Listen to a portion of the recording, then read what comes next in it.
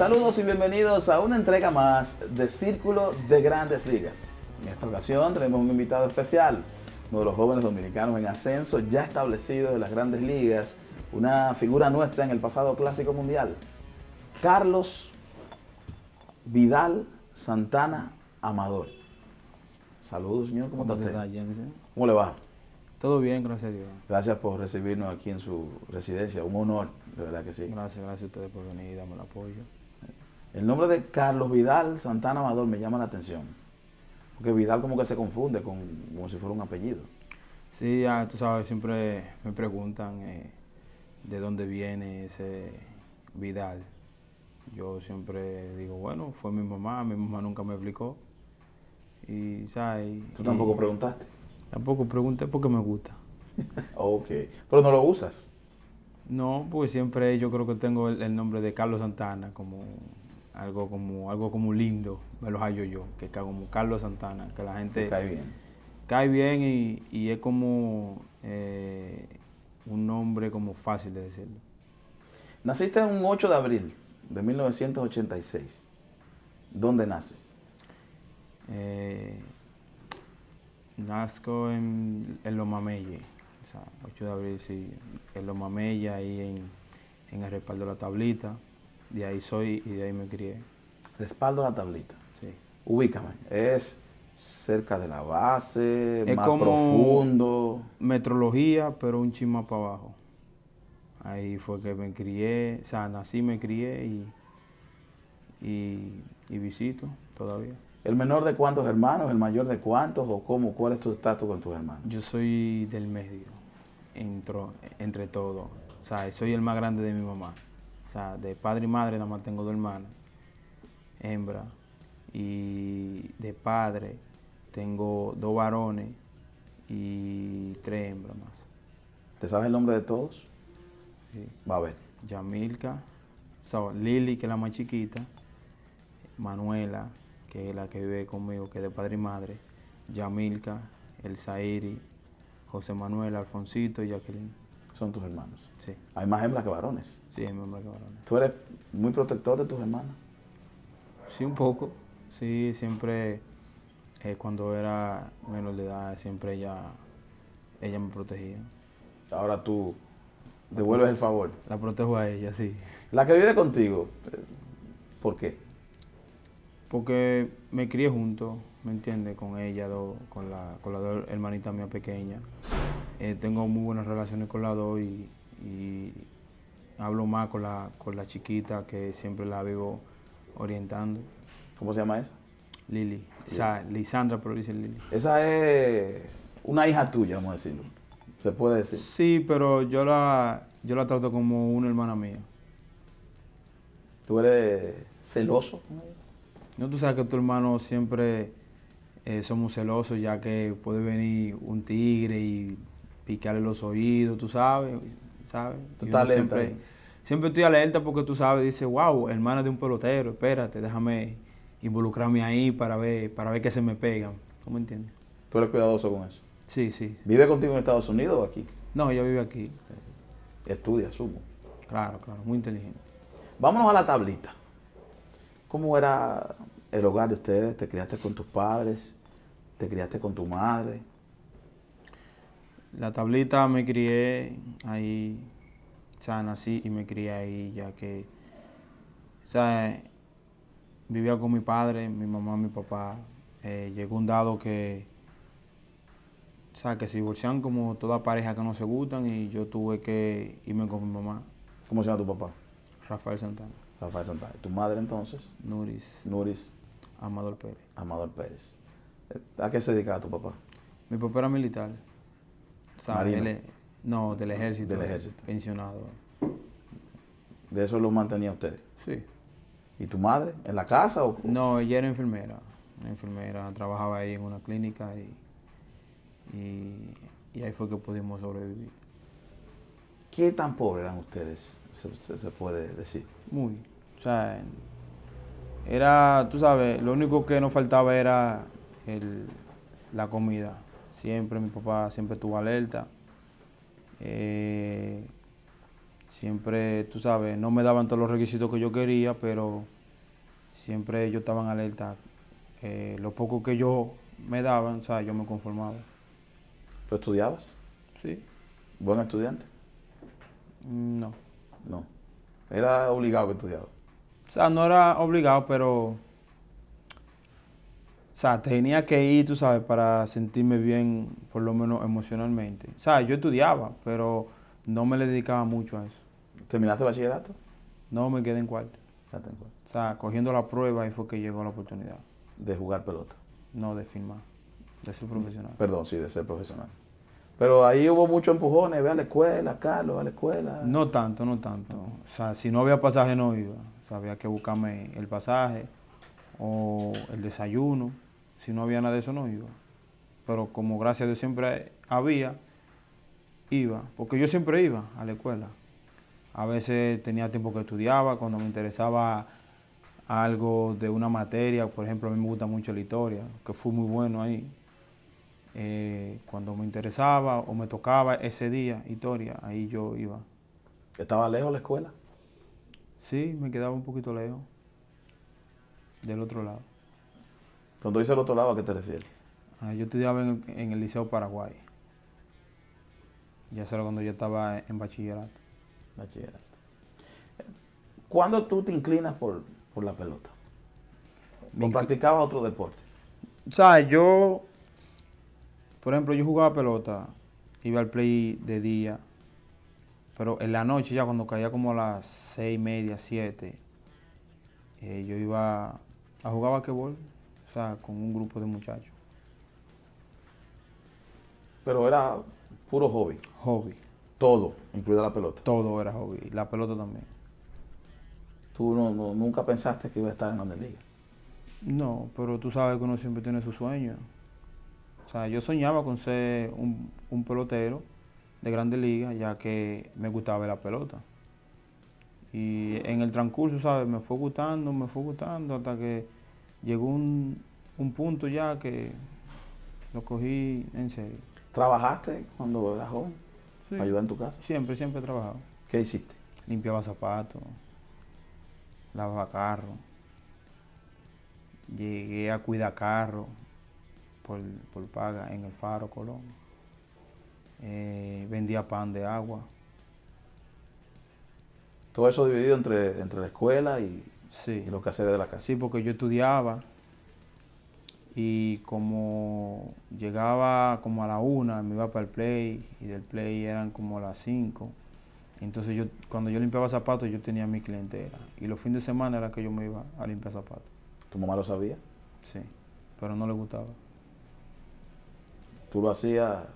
Yo lo hacía porque siempre a mí me gustaba tener mi dinero en los bolsillos y, y veía que mi mamá pasaba trabajo, ¿sabes? Tenía que ayudarla con algo. O sea, no hacía mucho dinero, pero si hacía 100 pesos yo le daba 60, 70 y me quedaba con 30.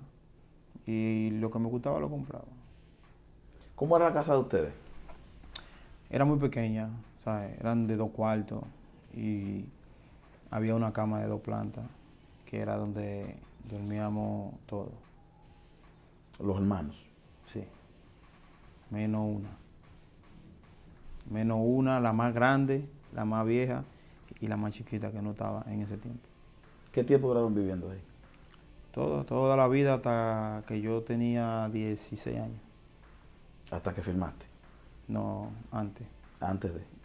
Dieron un, un salto. No, lo que pasa fue que mi mamá y mi papá se separaron y yo me fui con mi mamá a vivir por otro lado.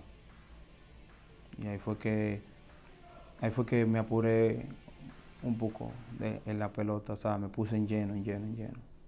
Que quería filmar, que era una oportunidad. Los divorcios siempre afectan. Sí. ¿A ti te, te marcó? Me marcó porque tú sabes, yo todo el tiempo vivía con mi mamá y mi papá, tú sabes, siempre me sentía bien cuando estábamos todos juntos, aunque sea viendo televisión, porque es familia. ¿Cambiaste con tu papá después de ahí? No, no. Me puse más, más bien con él, porque creo que en la vida uno no puede ser rencorita.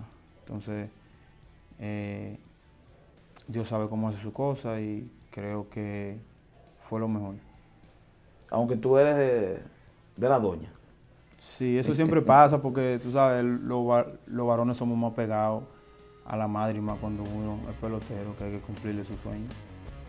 Vamos a una primera pausa, Carlos. Regresamos con más de la historia suya en Círculo de Grandes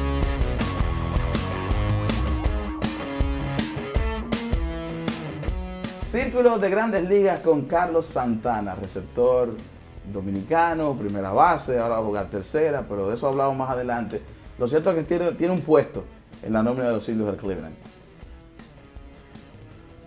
Jugando en la zona, ¿verdad? De los mameyes. ¿Quién le dice a Carlos Santana, tú puedes ser pelotero? O si de lo contrario, tú eres del grupo de los que nadie creía que llegaría a ser pelotero. Mira, había un grupito, éramos cuatro o cinco. Eh, yo era el más pequeño, yo era el, el que la gente nunca pensó, nunca pensó que yo ni siquiera iba a filmar. Porque los otros eran, tú sabes, grandes, fuertes y también, sabes, claro está, tenía sus condiciones. Ellos llegan a ser profesionales. Y creo que no tenía una gente que me dijera, tú vas a ser pelotero o tú vas a ser grande liga. una sola persona. Ni una. ¿Era una liga, un programa? Yo estaba en una liga, pero... ¿Cómo se llama? ¿Cómo se llama? Juan Carlos Ramos. Ahí eso está en la Marina. Pero eh, nos criamos juntos, eh, jugábamos pelota en la calle todos juntos.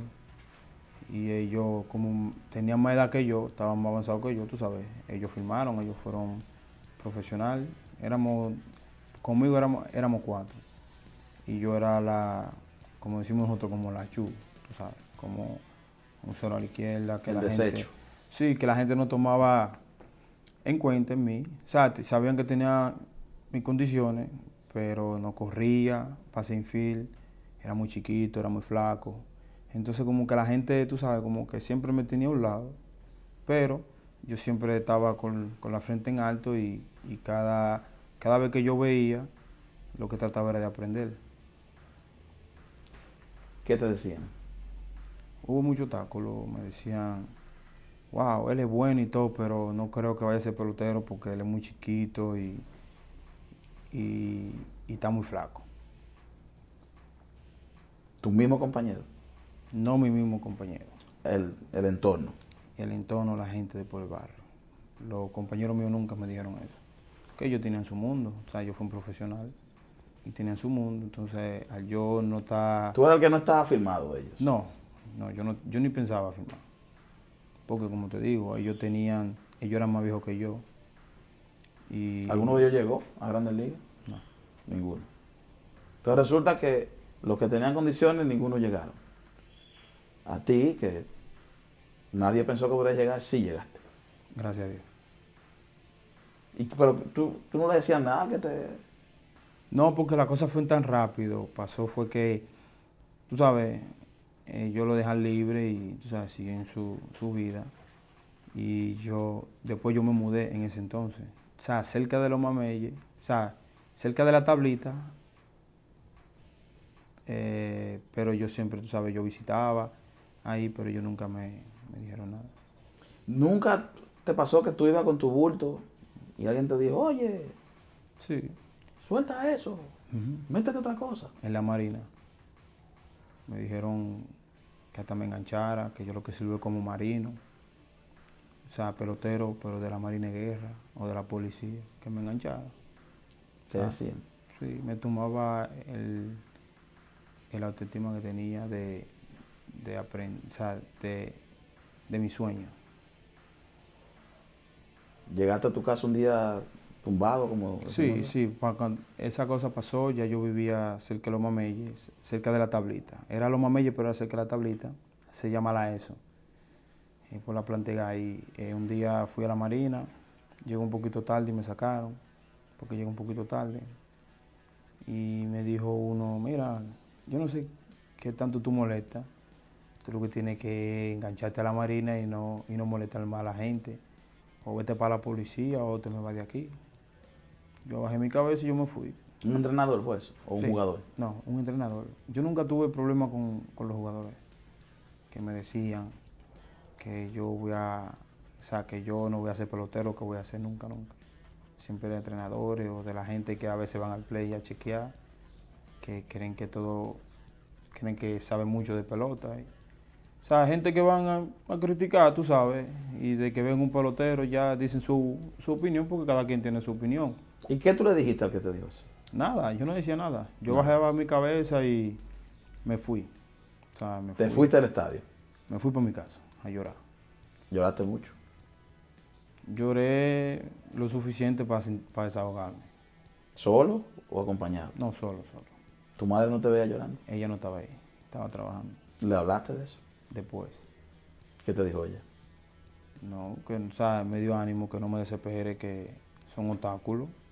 Imagínate, yo era un muchacho de 16 años, no era- que era, que siempre hablaban, o sea, que siempre había opiniones, que la gente lo que quiere ver uno más atrás que el otro, cosas, tú sabes, cosas, me habló de lo negativo y de lo positivo. ¿Tú lo has vuelto a ver a ese entrenador? Sí, normal. ¿Qué le has dicho? Lo saludo y cada vez que me ve baja la cabeza. Y le dice a la gente que se equivocó. Tú no, no, le- no- no le has dicho que no haga eso, que, que eso puede frustrar a un muchacho. Mm, eh, una vez se lo dije. Una vez que fui a un juego de softball y lo vi. Y le dije, papá, él, él mismo se me disculpó. Y me dijo, wow, mira, yo me equivoqué contigo. De esa lección aprendí. Y yo le dije, sí, papá, tú tienes razón. Eso es para que tú veas que en la vida tú no puedes desepechar a un pelotero o a una persona. Nunca le quita la motivación a una gente. Me dio la mano y me dijo gracias. ¿Cómo te firman? Eh, difícil. Eh, después que estaba en la Liga Juan Carlos Ramos, fui a un programa que se llama Batata, Rafael de León y su hermano Guayabo. Pero él practicaba ahí en el hipódromo. Dado caso que eso fue el lunes, que ahí fue que los equipos empezaron a verme. Pero antes de eso los equipos me veían, pero como nunca me ponían atención porque tenía buena mano, eso era cuando jugaba sobre todo, tenía buena mano, bateaba mucha línea, pues no tenía fuerza, el brazo era lo que más impresionaba, pero cuando se hablaba de correr ya era otro, otro, otra cosa. Dado caso fue que había un estrellado ahí en el hipódromo y fue un mercado de Atlanta a ver un queche y dos piches.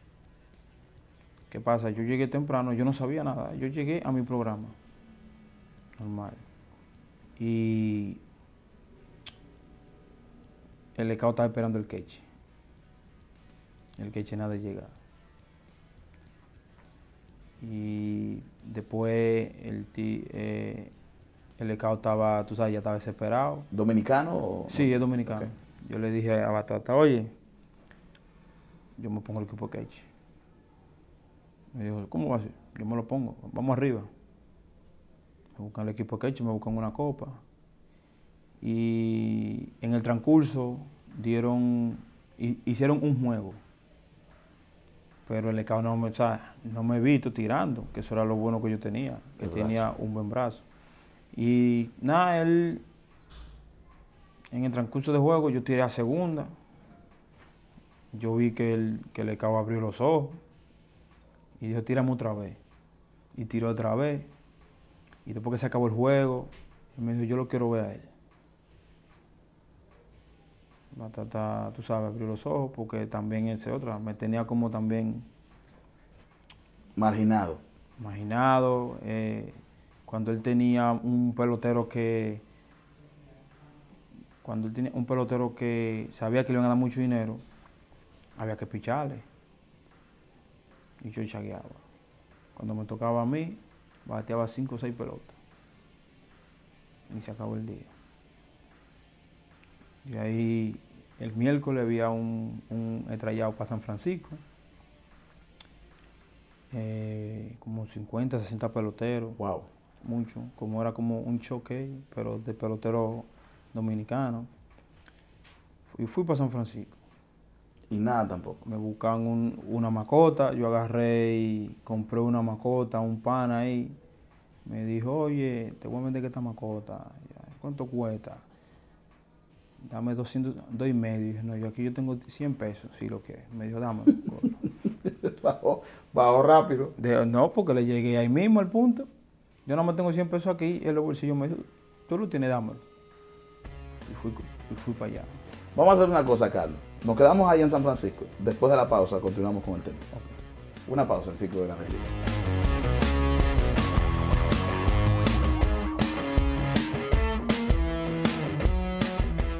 Círculo de Grandes Ligas con Carlos Santana por CDN. Nada de Atlanta. O sea, no conseguiste nada en Atlanta. San Francisco, nada.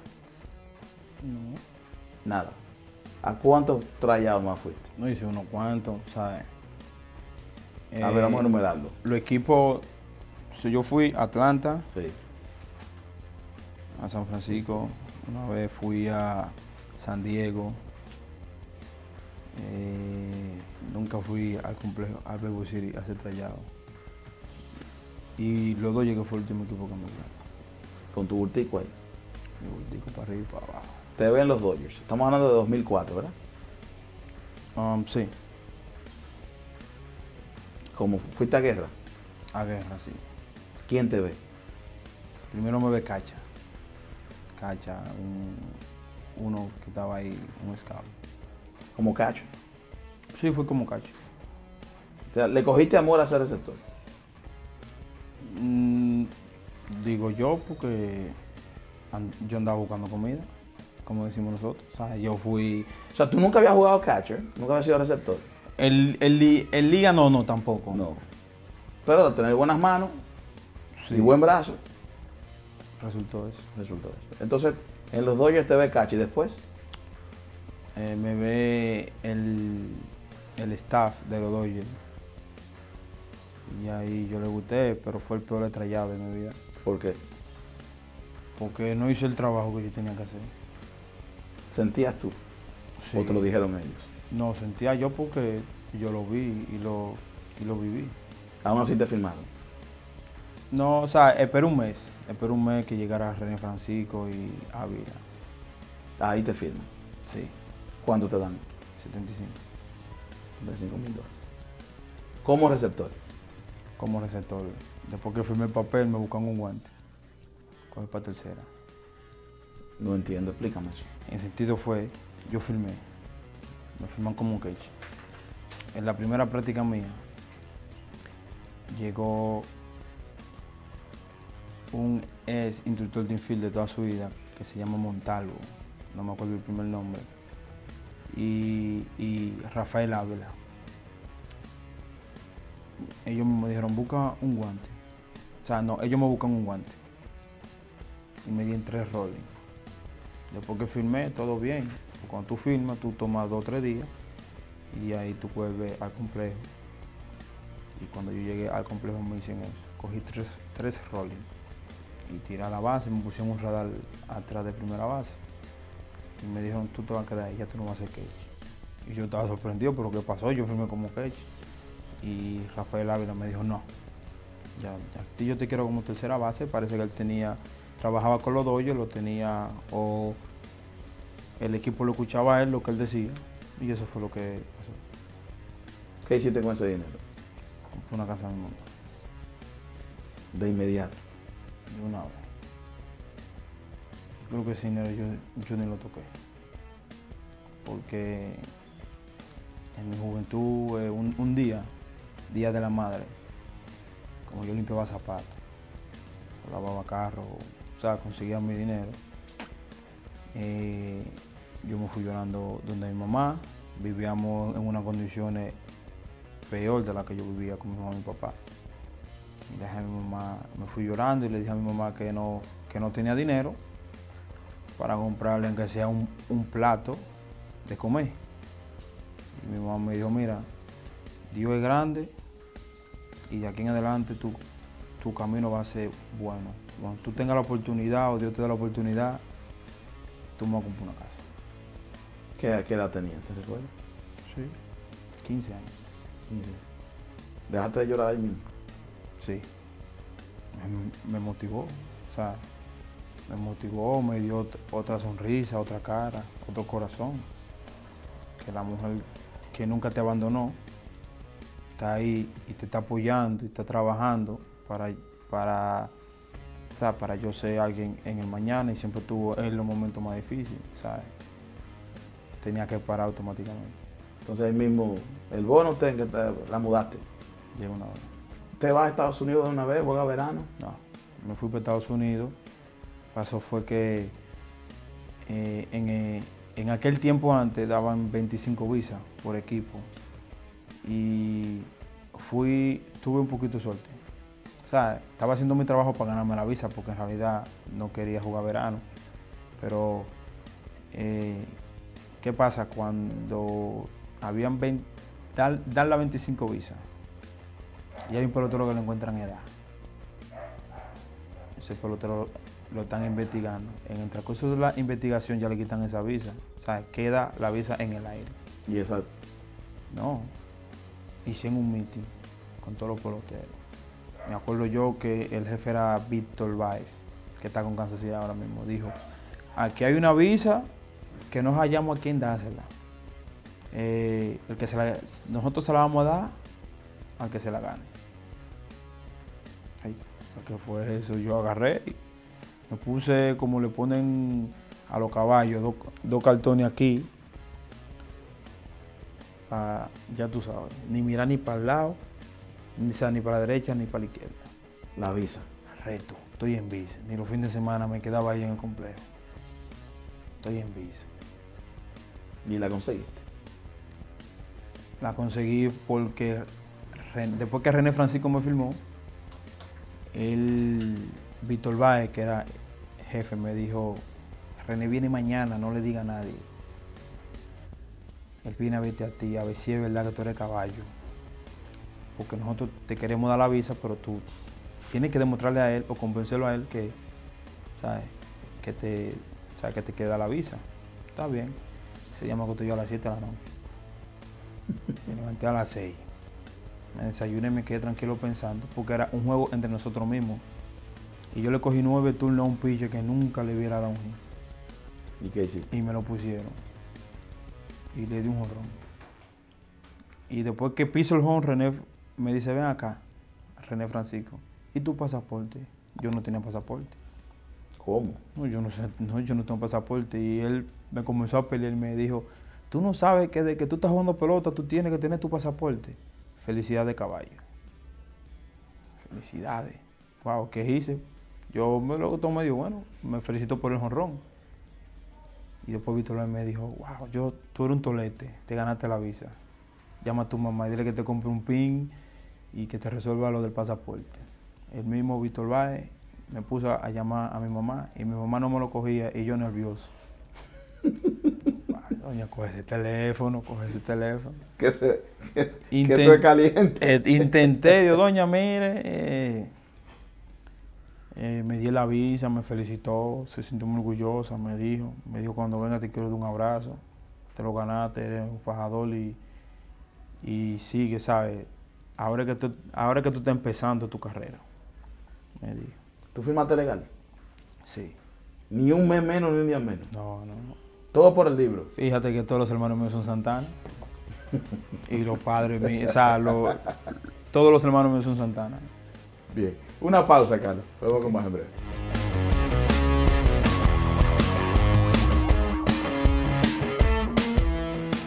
Seguimos en Círculo de Grandes Ligas por CDN con Carlos Santana. ¿Cuándo viajas por primera vez?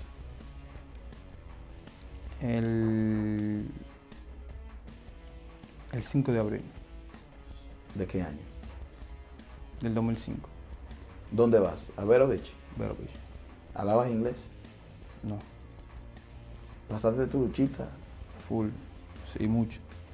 Mucho. Pero tuve suerte también. Tuve suerte porque viajé con muchos latinos, como con 25 peloteros. Tú para allá con el dedo. Sí, y hacía señas. ¿Tú sabes cocinar? An- ahora sí, pero antes no. Entonces, ¿Tú comías lo que otro cocinaba entonces? ¿Cuándo cocinaba? ¿Cuándo? En el 2008. Que ahí fue que aprendí a cocinar porque fue la, la, situa- la situación más difícil que viví en pelota. ¿Por qué? Porque estaba en California, el único dominicano era yo, no hablaba mucho inglés. Eh, todo me quedaba lejos, todo me quedaba difícil, no tenía licencia para conducir, no podía rentar un carro porque no, no ganaba lo suficiente. Cogía mi onza, o sea, un grupo de cosas. ¿Tu guaguas allá Sí, 25 centavos, eh, 50 centavos, perdón. para llegar al estadio? Sí. Entonces, ¿cómo aprendiste a cocinar? ¿Por teléfono? con mi mamá un día que ya no aguantaba los burritos. Vivía ahí en California y no aguantaba los burritos, ya comía mucho. Y hasta que le dije a mi mamá, quiero aprender a cocinar, compraba una tarjeta de 5 dólares y la llamaba. La primera comida fueron... No, Ah, ¿quedaron bien? No, bien, no. Un, un arroz blanco crudo. Ya tú sabes, con el huevo sí, lo, sí, el huevo sí yo me defendía, pero en el arroz no. ¿Y tú le brindabas a otro o tú solo? No, porque yo vivía con un venezolano y él no comía, o sea, vivíamos en la misma casa, pero cocinábamos separados, Hasta que aprendiste a cocinar. Hasta que aprendí a cocinar. Hoy día que tú sabes cocinar. Pues yo sé cocinar, eh, lo único que yo no sé cocinar es como que un moro de, de guandula que se me hace muy difícil. Pero después de ahí, Sé cocinar, o sea, no paso hambre. puedes hacer tu arroz de habichuela y sin problema. Sí, arroz, habichuela y carne sí. Sancocho. No, no he llegado todavía. Todavía no. No, todavía no. Pero te manejas con los moros y compañía. Sí, Sin coco. sin coco. Te hiciste un hombre entonces en la pelota. Sí, hay que, hay que hacerlo obligado, si no pasa el trabajo, no, no progresa, no nada. Llegaste a pensar un día abandonar, dejarlo todo y venir para tu casa. Sí, ¿Cuándo? el mejor año mío. En el 2008, En Liga Menor. sí. ¿Y por qué? Porque llegó un dado momento, eso fue en el primer mes, tenía que, que me llegó el primer cheque, como de 400 dólares, y tenía que pagar la casa, tenía que dar 600 dólares de la casa.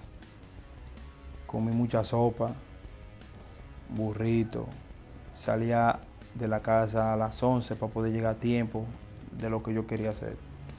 Y en una dije, bueno, yo, yo- eh, yo voy a abandonar esto, se jodió, y llamé a mi mamá, mi mamá me calmaba Otra vez. otra vez.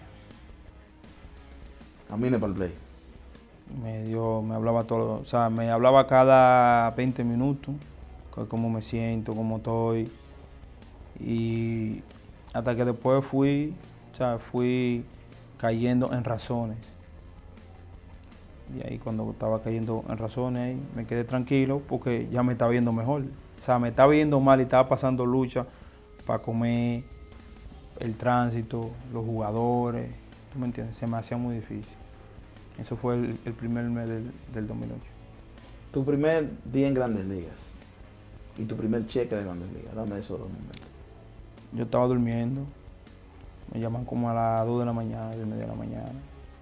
Y yo pensaba que era un, yo pensaba que era José Contanza, que me estaba llamando, Pens- eh, haciéndose creer que él era americano. ¿Tú estabas con Cleveland ya? Sí, eso fue en triple A. Me dijo, Carlos, felicidades.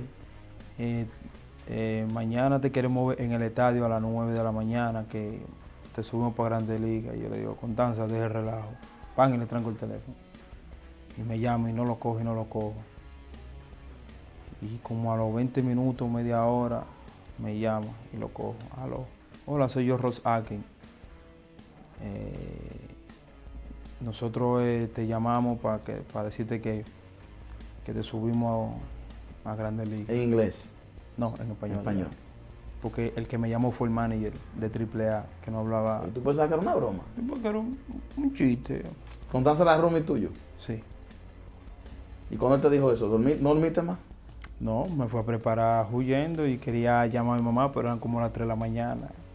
Entonces yo dije, bueno, si yo la llamo esta hora ya va, va a estar asustada. O a lo mejor está durmiendo. Algo, tú sabes, pensé negativo y positivo. Pero no dormí. ¿Y fuiste a Grandes Ligas volviste a las menores o tú eres de los que...? No, yo, gracias a Dios, yo, ellos me subieron y o sea, me subí bien y cuando llegué, llegué como a la una. La primera persona que, re- que vi fue a Maniata. Me, me felicitó. eh, muchas cosas, tú sabes, me habló bien y me sentí bien y cuando veo yo el no me puso todo el selvate. Ni lo creía. Y hasta el sol de hoy, Gracias a Dios. Grandes Ligas. Me ha subido establecer eh, en Grandes Ligas. Sé que es difícil, la gente a lo mejor lo ve fácil porque el, el béisbol se ve lindo, pero creo que es algo muy difícil, es algo muy rutinario, es algo que hay que dedicarse mucho tiempo a ese trabajo porque se, se abasa a más mental que físico. ¿Qué te falta a ti por lograr en Ligas? Muchas cosas. Vamos a enumerarlas. mm, guante de oro, es la base que esté y muchos juegos estrella, eh, gana una serie mundial, es bueno, me encanta. ¿Crees que puedes lograrlo? Sí, sueño con ganar un- una serie mundial. A ti te critican porque tú a veces eres muy pasivo en el home, que tú tomas muchas bases por bola. Eso dicen, pero en realidad lo que saben de béisbol, lo que saben, saben que para tú tomar una base por bola, tienes que, tienes que tirarte cuatro pichos malos, cuatro bolas, ¿sabes? Tú sabes que critican mucho eso porque los latinos no basamos a hacer mucho swing, ¿me entiendes? Y yo creo que yo nací con esa habilidad y a lo mejor me critican, hay muchos que me critican, hay muchos que, que sí, hay muchos que no, y, pero yo me siento bien con, con el tipo de bateador, claro está, tengo que aprender mu- o sea, tengo que aprender más, porque uno nunca acaba de, de aprender todo, uno siempre tiene que aprender algo y más cuando uno quiere jugar con un pelotero como un aletal como lo David Ortiz, que es bien inteligente, como lo Víctor Martínez, como lo Cano, Encarnación. Son esos tipos de bateadores que son bateadores de fuerza, que saben que no le van a pichar el pichó que los bateadores de fuerza quieren. ¿Eres escogidista? De chiquito. Sí, ¿Te dolió la última final? sí. Duré dos días sin dormir. Dos días sin dormir. Aunque no pareciera durante dos días sin dormir. Sí. ¿Y por qué? Tú sabes que Dominicana es el juego número, el deporte es el juego número uno, el béisbol. Y tú sabes, yo me entregué, ¿me entiendes? Yo cuando juego, yo me entrego. No pasaron las cosas, pero eh, o sea, quería hacer, me llegó el momento de poner al equipo por lo menos a ganar o jugar un juego extra o sentirnos bien, el equipo sentir bien satisfecho por, porque batallamos hasta lo último. Sí batallamos hasta lo último, la cosa no se nos dio, pero me dolió porque primeramente fue el último out de que ellos ganaran y también me tocó una cuanta situación que yo podía eh, producir y ayudar al equipo y no se dio. Eso, tú sabes, me sentir mal porque jugué de corazón, ¿tú me entiendes? Me entregué porque cuando juego, juego, tú sabes, de corazón y más en una final donde hay el equipo entero viendo ese juego, todo el mundo, hasta el que no sabe de pelota ve nada más por la emoción, ¿sabes? Es algo que, que uno se siente mal, pero gracias a Dios eso es parte de la pelota y creo que tengo que seguir para adelante. ¿Qué tú le dirías a los fanáticos? No, yo le digo, tú sabes, los fanáticos del escogido son, ellos entienden mucho, ¿sabes? Ellos, es una fanaticada buena, respetuosa, siempre van a su juego a divertirse como otros fanáticos. ¿Sabes? Que, ¿sabes? que eso es la pelota, ¿me entiendes? Eso, es eso es parte de la pelota. Uno pierde, otro ganan, batallamos hasta el final. Y, ¿sabes? Que no se desesperen, que que vienen muchas más coronas, más de los últimos cinco años. eh, ellos le han dado tres o dos, creo. Y ya llega uno a la final que fue este y perdieron. ¿Qué tú le dirías al que te está viendo? Que como tú tienes un sueño y que probablemente también le, dije, le, le decían, loco, deja eso, no sigas. ¿Qué tú le dirías? Tú que eres un ejemplo vivo de- de ser consistente. O sea, yo le digo que, que a cada quien le llega su oportunidad en la vida y Dios sabe lo que hace. Le digo que si usted tiene un sueño, nunca mire para atrás, siempre mira para adelante. Porque cuando tú miras para adelante, Dios te va a dar esa oportunidad el día menos esperado. Y cuando la tenga, tiene que aprovecharla. Si te encuentras con Dios, ¿qué le dirías? Le doy hasta la vida. Gracias por todo. Por todo. Por todo. Gracias, mi hermano. Gracias, papá. Placer inmenso.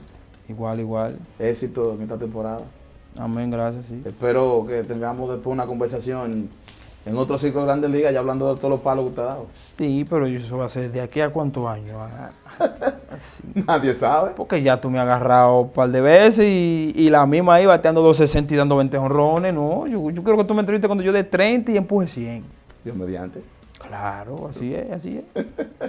Carlos Santana estuvo con nosotros en Círculo de Grandes Ligas. Nos vemos en una próxima ocasión. Dios le bendiga.